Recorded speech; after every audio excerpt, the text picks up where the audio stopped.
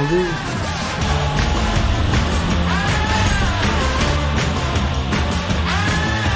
I trust in you.